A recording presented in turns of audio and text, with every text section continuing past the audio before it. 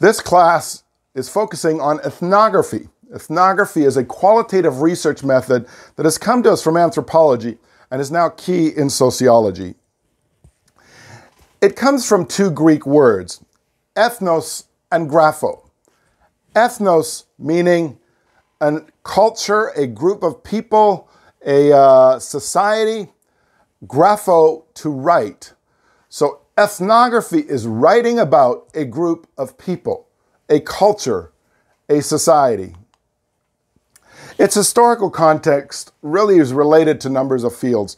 Uh, history is really at the first element of this. Historians began to write out what the king would have been saying, what the military would have been saying, what were elder statements, religious statements, and so on along the way.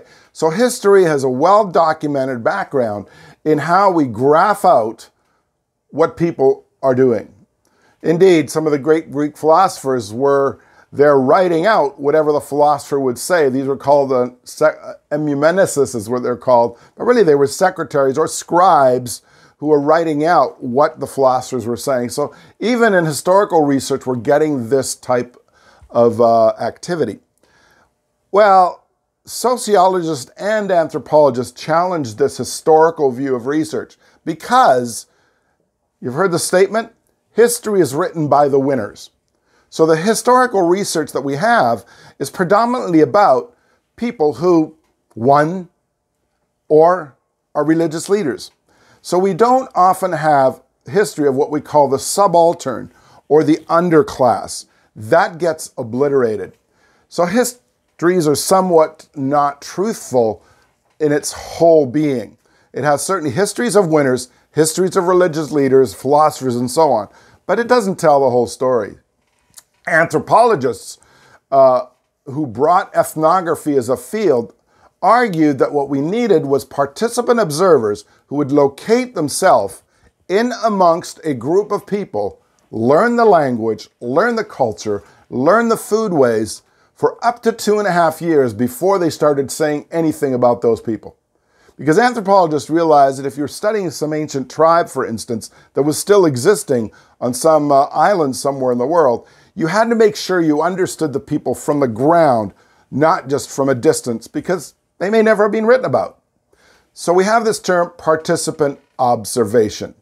So anthropologists brought us this idea of being participants within our society. This is Chicago School later on in its social, social research said we have to get our students onto the streets. The laboratory of really knowing about people is the streets.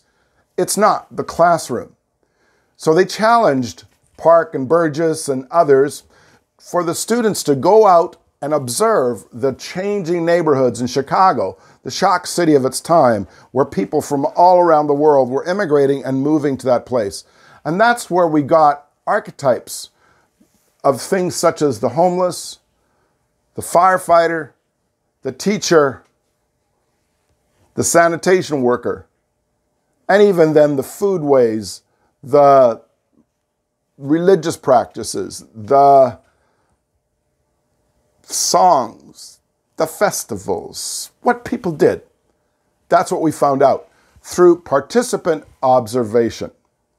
So, good ethnographers know we have to learn to get into our neighborhoods to study them. One of the strategies I've used with my sociology students is for you to go to your own neighborhood because going to your own neighborhood to study which might seem boring at first because I'm so familiar with it, is actually a research strength because you're a key consultant to where you live. You understand it socially, culturally, physically, geographically. You know the good restaurants, you know where to eat. You know the good diner, the good bodega. You go to religious services. You know the neighborhood. You're the ideal type of person who already can participate and observe, participate and observe a neighborhood. So it's a really effective method having sociologists actually participant observing in a neighborhood. Indeed, right now I'm working uh, with Dr. Richard Cimino, and we're working on a book on diverse neighborhoods in Queens. And uh, we have participant observant students who are part of our project who we send into different kind of parochial spaces. Parochial meaning parish or small spaces, such as cafes, salons, churches, synagogues, mosques, parks, so on and so forth, to find out actually what the people are like.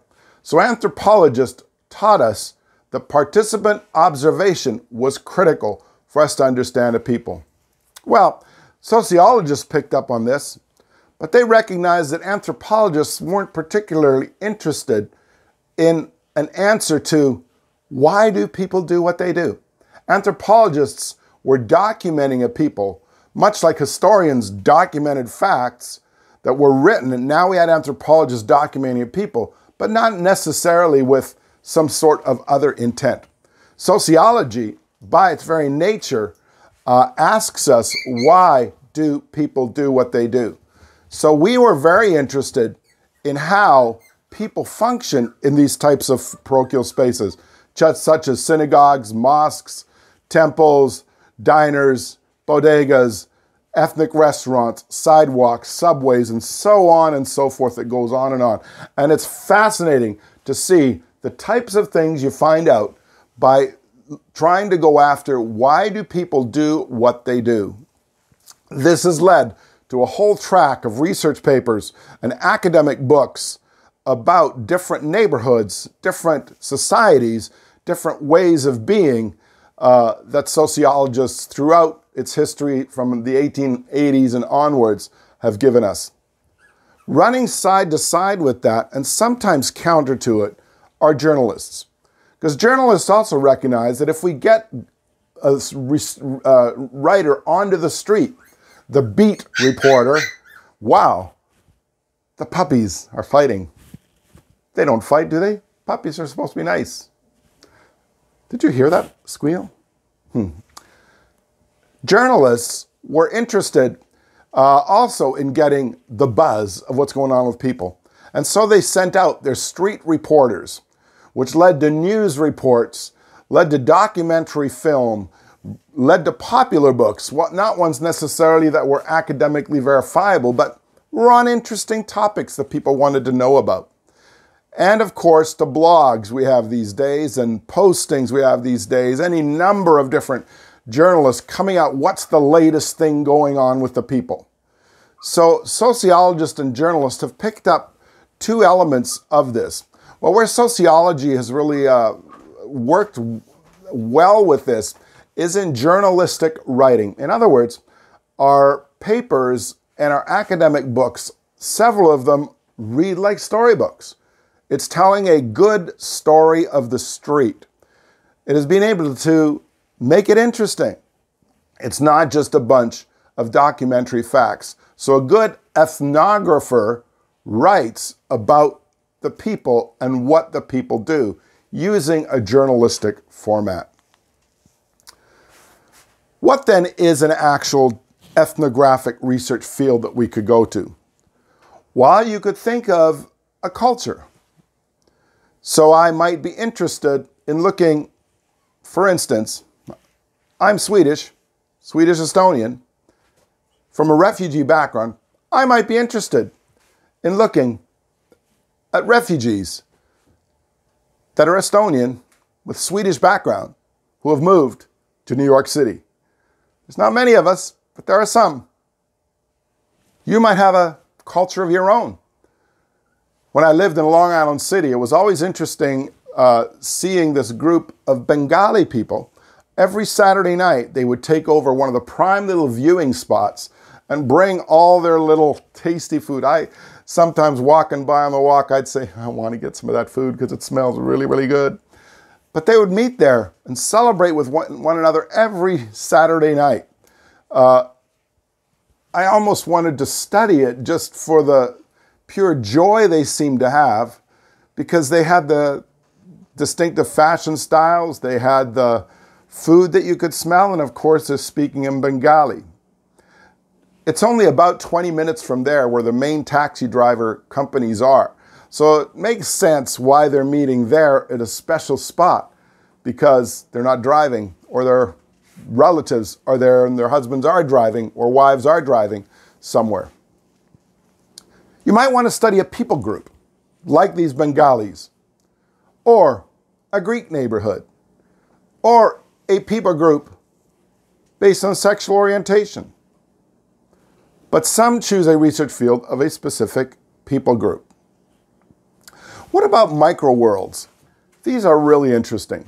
A microworld is in a large urban environment, how do people live in little spaces, small spaces? Huge city, small spaces. That look like a micro world? That, that actually is even more micro. Let me give you an example. One of my students uh, was very interested in the Guyanese community on Lefferts Boulevard. There's the neighborhood uh, in South Queens. And uh, we were interested in having her look at micro worlds. Uh, and so she found an interesting one. On a certain intersection, there was like a Y where one road came in and two diverted off, sort of like this.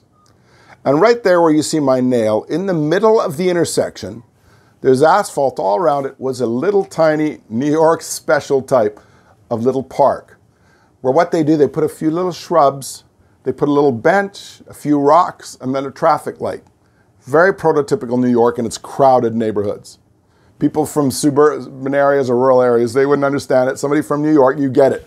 We have this space. We're going to make a park right here in the middle of the intersection. And so she noticed right in this little intersection were three gentlemen that uh, were Guyanese uh, that would sit on this bench every single day. So she uh, thought this was an interesting social phenomena, believing she was onto some micro world. So she began to chat with them and observe them. And uh, she discovered that there was really three men, but three places as well that they went. The numbers work. So these gentlemen had really three places they congregated all the way throughout the week. One of them was their church that was about a block away. The bodega restaurant across the street was on one of these corners, and the sports club that was on one of the other corners. And so they would meander between these three spaces and end up in the middle in this microspace all week long. Think about this. In the largest city in the United States, 18.5 million people in the tri state, 8 million in the city itself, a vast collage of different micro worlds. How do people find people close to them in that little space in the intersection with three men and three places. So, micro world is one sort of research field. What about social interactions?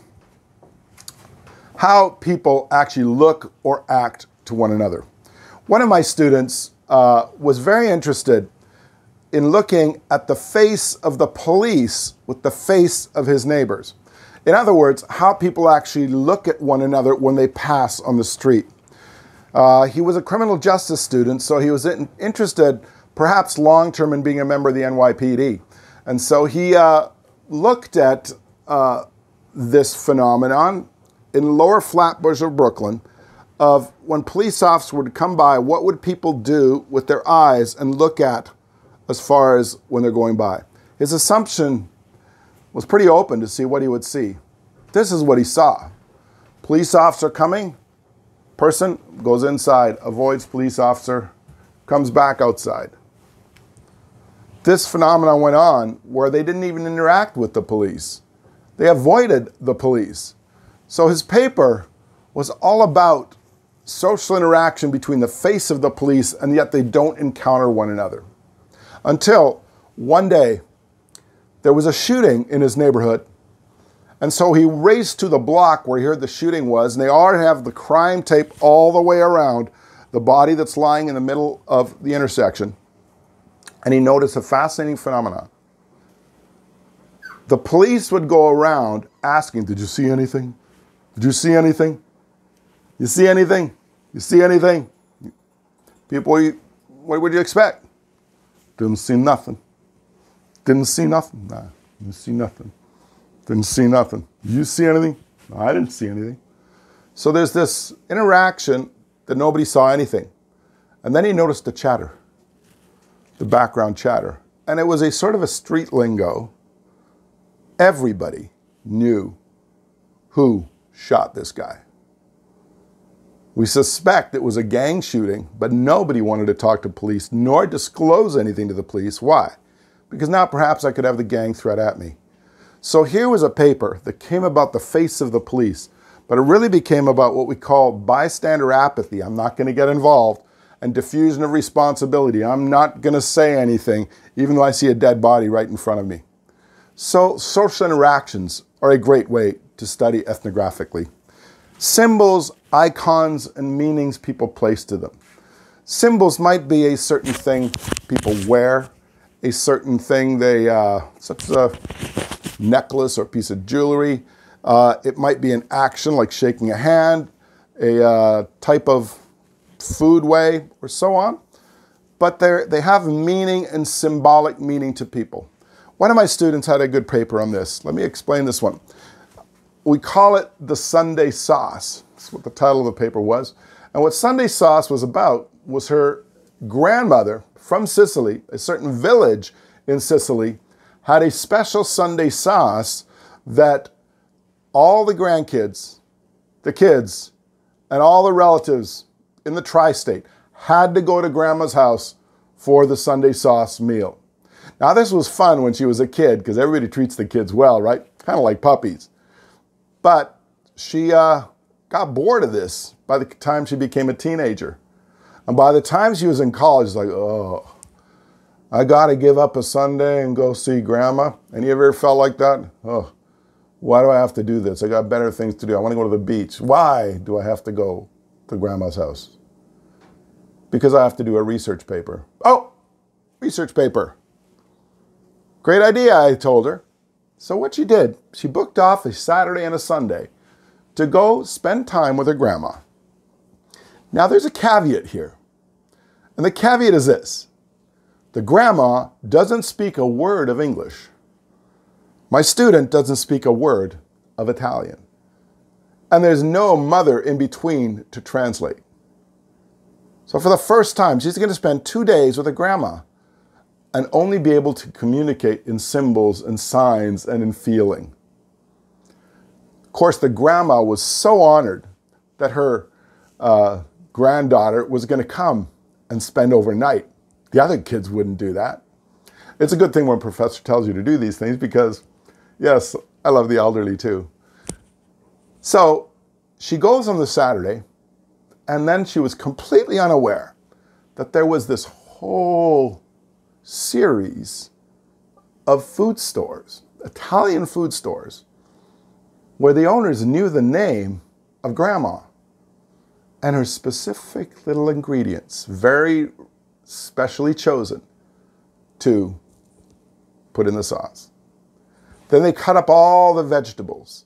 And then she had her in sequence put them in a certain order. So on Sunday, they would cook it in the correct order, as it had been done in Sicily, in their village for generations.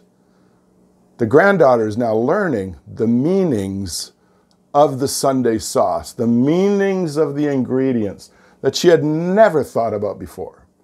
And then on Sunday, there's a whole strategy. They were up early and started frying the meats and the vegetables. Why? So that the whole house would fill with the aroma, that specific aroma. She'd always smelled grandma's house smells a certain way. She hadn't recognized that this was a cultural strategy of her grandmother to make the house feel like this and smell like this and then to let the sauce simmers for three hours. The rest of the family arrives, they go to Mass, and after Mass, they come back and have this Sunday sauce.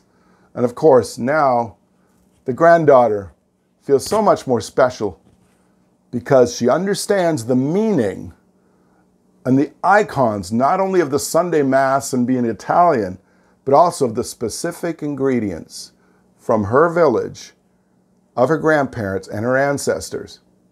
And now, though she couldn't speak the language of Italian, she understood the language of Italian food, much more than just a good pasta. So we have symbols, icons, meanings. But with it, feelings, emotions, and attitudes people have. You could think of this in a neighborhood where people are frustrated because people are pushing them out. People are frustrated because rents are becoming too expensive. People are frustrated because of construction going on, frustrated because of healthcare. Any number of reasons and feelings, emotions, and meanings. These are important research fields. So we've seen a culture, a people group, micro worlds, social interactions, symbols, icons, meanings, and feelings and emotions are all critical elements of a solid research field for someone who is an ethnographer. We'll see you. Have a great day, everybody.